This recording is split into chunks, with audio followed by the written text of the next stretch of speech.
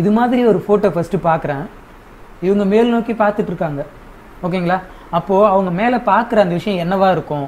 மேலே ஒரு பட்டாம்பூச்சி பறந்தால் நல்லா இருக்கும்ல? மேலே ஏதோ ஒரு பறவை பறந்தால் நல்லா இருக்கும்ல? அந்த பறவையோ பட்டாம்பூச்சியோ பறக்கும்போது அங்கேருந்து ஏதாவது ஒரு ஸ்பார்க்கல் எஃபெக்ட் வந்து இவங்க மேலே அப்படியே லைட்டாக அப்படியே தெரிச்சா நல்லா இருக்கும்ல? அந்த மாதிரிலாம் வந்து யோசிக்க தோணுச்சு. ஓகேங்களா? அதை மாதிரி யோசித்து க்ரியேட் பண்ணது தான் இந்த வீடியோ ஓகேங்களா?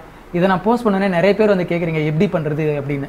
ஆக்சுவலாக ஃப்ரேம் அனிமேஷன் வீடியோ அனிமேஷன் அப்படின்னு சொல்லிட்டு ஃபோட்டோஷாப்பில் பண்ண முடியும் அப்படின்னு சொன்னது இல்லாமல் அதுக்கான வீடியோஸும் உங்களுக்கு வந்து கொடுத்தாச்சு. ஓகேங்களா ஆனால் இதுக்கு மேலே உங்களுக்கு சொல்லிக் கொடுக்கணும் அப்படின்னா இந்த ஒரு கிரியேட்டிவிட்டி அப்படின்றதெல்லாம் வந்து கண்டிப்பாக சொல்லித்தர முடியாது. நம்ம பிளான் பண்ணுறது தான். ஓகேங்களா இந்த இமேஜ் பார்த்த உடனே ஒரு ஸ்பார்க்கில் ஆச்சு இல்லைங்களா? ஓ இது மாதிரி ஒரு விஷயம் நம்ம பண்ணால் நல்லா இருக்கும் அப்படின்னு. ஃபஸ்ட்டு வந்து இந்த இமேஜ் பார்த்தேன். இந்த இமேஜ் பார்த்துட்டு மேலே ஒரு பறவை பறந்தால் நல்லாயிருக்கும்னு நினச்சேன். இல்லை ஒரு பட்டாம்பூச்சி பறந்து போனால் நல்லா இருக்கும்னு நினச்சேன்.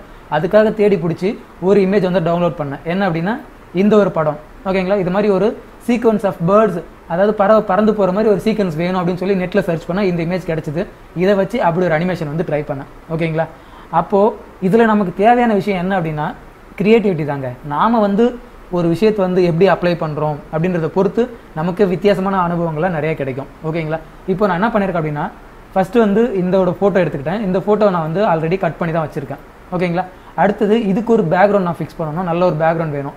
ஏன்னா இதில் நான் வந்து ஒரு பறவை வந்து பறக்க வைக்கணும் அப்படின்னா இவங்களோட ஆங்கிள் இங்கே இருக்குது இந்த இடத்துல ஆக்சுவலாக அந்த பறவை இருக்கணும்.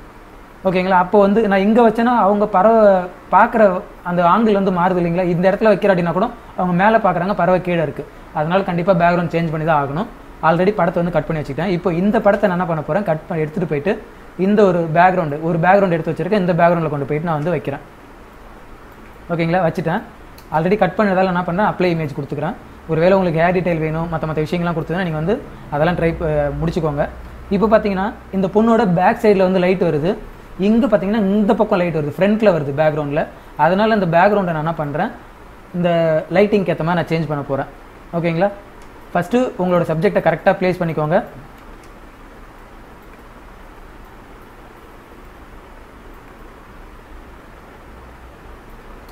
அடுத்தது இப்போ நான் பேக்ரவுண்டில் ஒரு காப்பி எடுக்கிறேன். அதை நான் வந்து ரொட்டேட் பண்ணுறேன் ஏன்னா லைட்டிங் பேக் சைடு இருந்து வரணும். அவங்களோட ஹேருக்கு வந்து லைட் வருது. அதனால் அதுக்கேற்ற மாதிரி நான் வந்து இந்த பிக்சரை நான் வந்து அலைன் பண்ணிக்கிறேன்.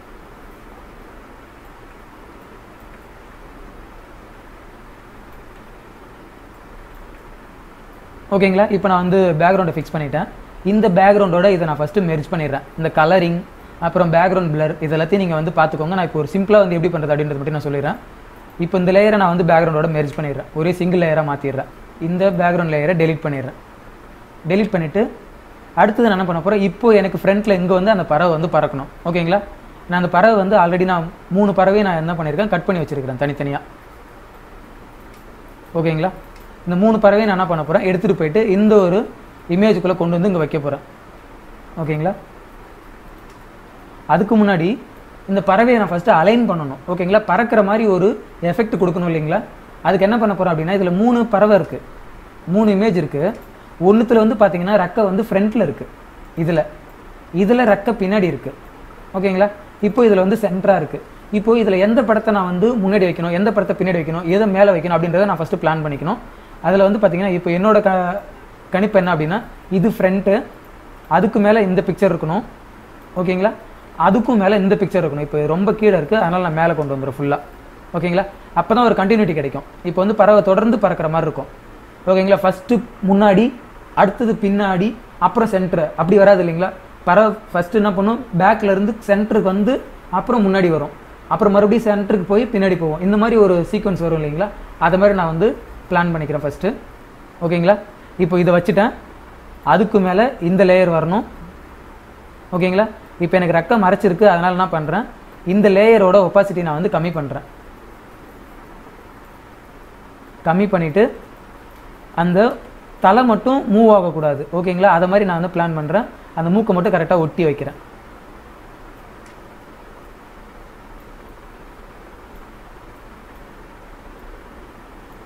வச்சுட்டேன்.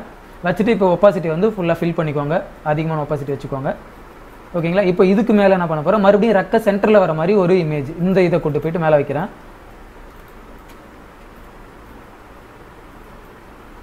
ஏன்னா தலை வந்து மூவ் ஆகாதுங்க.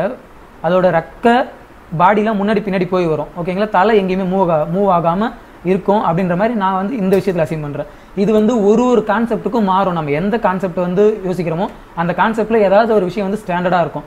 அந்த ஸ்டாண்டர்டான ஒரு விஷயத்தை வச்சு மற்ற விஷயங்களை வந்து நம்ம மூவபுளாக வந்து மாற்ற போகிறோம் அதுதான் வந்து கான்செப்ட் ஓகேங்களா இது கொண்டு வந்து மேலே வச்சுட்டேன்.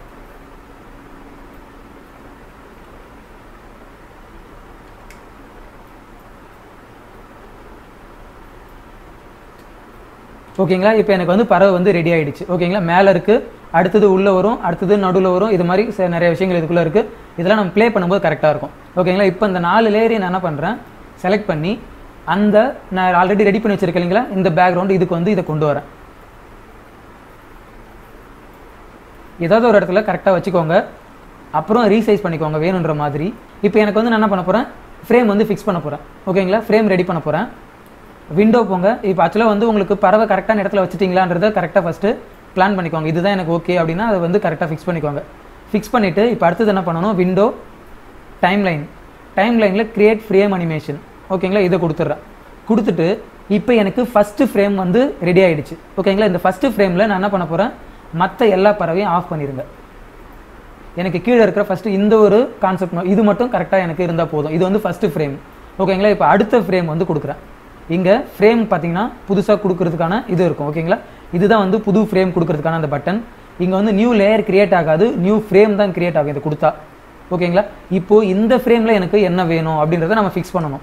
எனக்கு புது ஃப்ரேம் வந்து உருவாயிருக்கு இல்லைங்களா? இந்த ஃப்ரேமில் இந்த இமேஜில் என்ன வந்து எனக்கு கிடைக்கணும்? ஓகேங்களா இதுக்கு முன்னாடி ஃப்ரேமில் வந்து எனக்கு வந்து பறவை வந்து ரெக்கையை சென்டரில் வச்ச மாதிரி இருக்குது ஓகேங்களா இப்போ அடுத்ததில் நான் என்ன பண்ணணும் அப்படின்னா பறவை வந்து ரெக்கையை முன்னாடி கொண்டு வரணுமா? இல்லை பின்னாடி கொண்டு வரணுமா? அதை நீங்கள் வந்து இப்போ வந்து ஃபிக்ஸ் பண்ணணும். ஓகேங்களா இது நல்லா ஜூம் அவுட் பண்ணி காமிக்கிறேன்.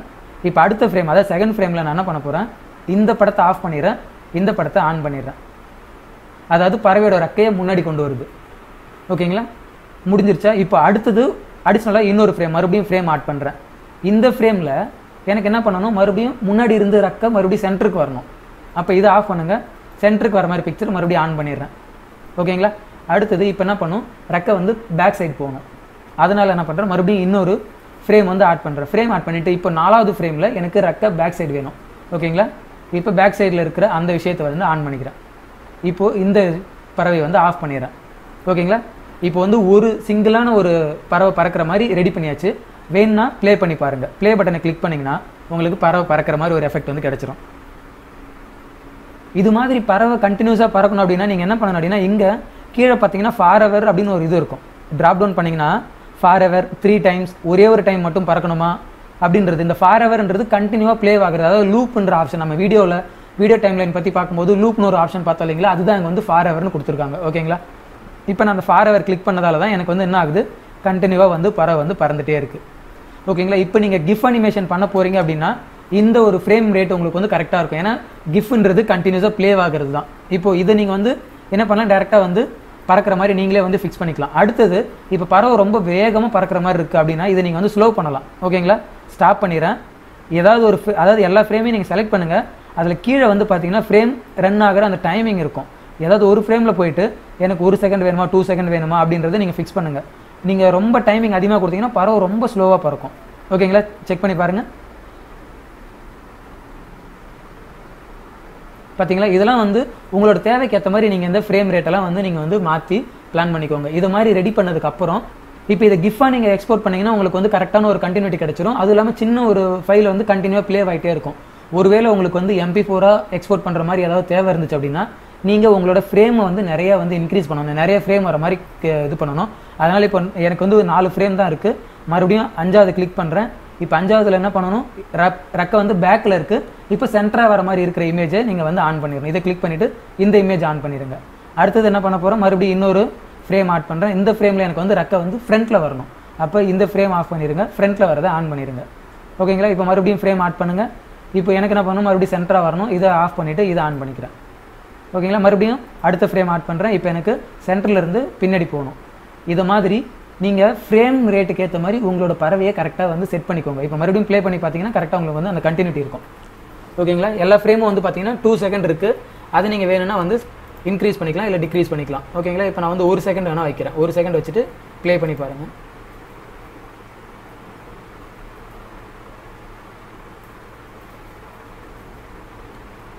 ஓகேங்களா இப்போ இந்த விஷயங்கள் உங்களுக்கு புரிஞ்சிருக்கும்னு நினைக்கிறேன். இப்போ வந்து ஒரு பறவை நான் ஒரு பறக்க வச்சிருக்கேன். இப்போ இந்த புறா இருக்கு இல்லைங்களா இந்த புறாவை நான் வந்து பறக்க வச்சிருக்கேன். பாருங்களேன்.